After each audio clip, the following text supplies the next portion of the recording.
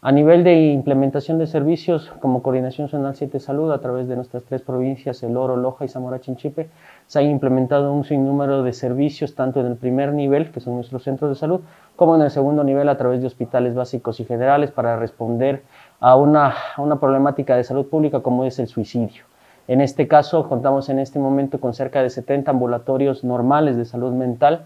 seis ambulatorios intensivos que se encuentran en las ciudades de Machala, de Portobelo, de Loja, Catamayo, Zamora y Yanzasa, y también nuestros hospitales básicos y generales que están distribuidos a lo largo de las tres provincias, que se enfocan en trabajar lo que es tanto el riesgo suicida como los intentos autolíticos como tal.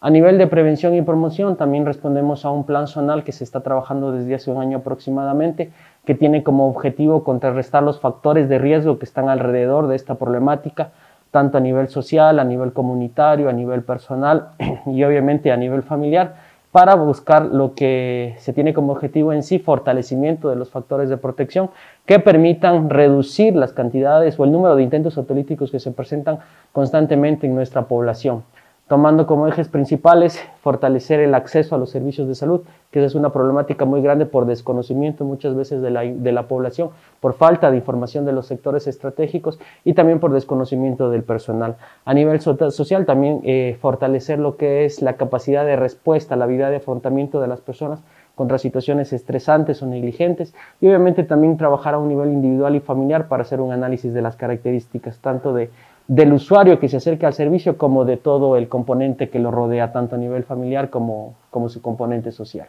La actual emergencia sanitaria que se encuentra viviendo no solo el Ecuador, sino el mundo entero, eh, influyó para que se modifique el estilo de atención dentro de los servicios, no implicó, no significó que se deje de realizar un servicio, en este caso de, de salud mental y de la salud integral a través del Ministerio de Salud Pública. En este caso se adoptaron estrategias informáticas, telemáticas, eh, virtuales, conferencias, eh, sea a través de medios como, como Zoom, como WhatsApp, llamadas telefónicas directas, para continuar con el seguimiento tanto a personas que manifestaban problemas de salud mental, en donde se engloban eh, las problemáticas de intentos autolíticos y otras enfermedades mentales, como también para personas del cerco epidemiológico que se encontraban como sospechosas y positivas de COVID-19, que a través de los equipos de salud mental, psicólogos, médicos, psiquiatras, trabajadores sociales, en fin, eh, todos los, profesionales que son parte de estos equipos se encargaban de un seguimiento directo. Obviamente las respuestas tenían que ser eh, diariamente toda la demanda que teníamos a través de, la línea 171,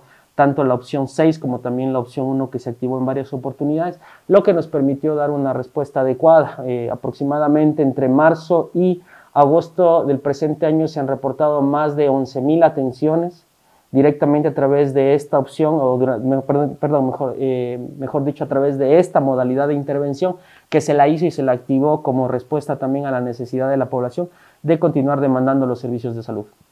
Lo primero que tenemos que entender todos es que el tema del intento, eh, del intento, del acto suicida como tal, no responde a temas de miedo, a temas de, de cobardía.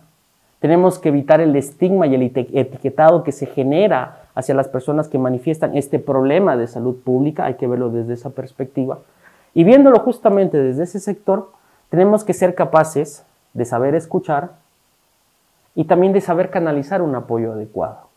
No poner ejemplificaciones a través de nosotros o de terceros, porque cada uno tiene sus dificultades y sus capacidades y habilidades para resolver problemas. Esa es la idea central que se tiene que manejar a través de la población. Y obviamente, si nosotros identificamos o nos damos cuenta o, estamos o ya estamos eh, en contacto con una persona que presenta un alto riesgo de, intento autolítico, saberlo derivar hacia un especialista, pero paralelamente también acompañarlo, brindarle el apoyo y en la medida de las posibilidades tratar de asegurar que todos los elementos o contextos que están alrededor de esa persona sean lo menos letales o nocivos para ese individuo. Es decir, tratar de evitar que esté en contacto con,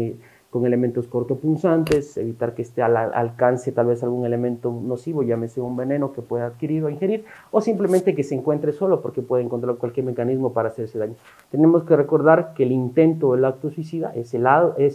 acto, el intento autolesivo, es decir, yo me genero el daño con el objetivo y la finalidad de obviamente eh,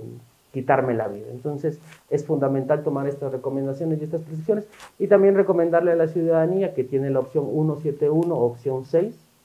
a través del Ministerio de Salud Pública en este momento, mediante llamada telefónica, usted puede acceder a un servicio de esta característica para que pueda atender estas emergencias. Y obviamente, si nos encontramos ya con un acto que lastimosamente se ha consumado, pero percibimos que la persona se encuentra con signos vitales o está estable, inmediatamente acudir a las áreas de emergencia de nuestros centros de salud tipo C, nuestros hospitales básicos y nuestros hospitales provinciales, en donde están capacitados para dar respuesta y dar una contención rápida a este problema de salud.